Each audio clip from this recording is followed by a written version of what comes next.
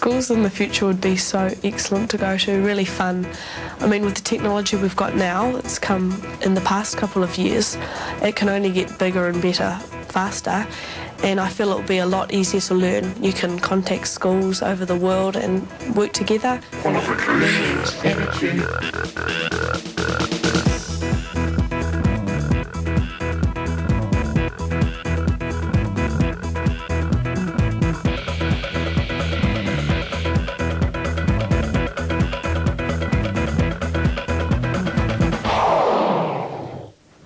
Have you ever wondered what classrooms will be like in the future?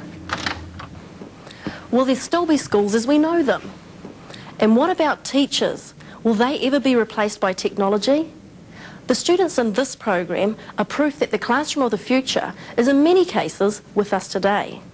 In the past, information entering the classroom came in the form of books and teachers. Now we live in the communication age, where access to information to enhance our learning is potentially limitless.